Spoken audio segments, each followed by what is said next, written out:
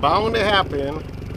You know, end up having, uh, this is probably my first official uh, paid trip in six years that we did not catch a fish. Oh my god, today sucked big time.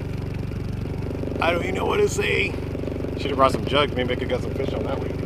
But definitely rod and reel, I mean, we probably jumped 10 spots today.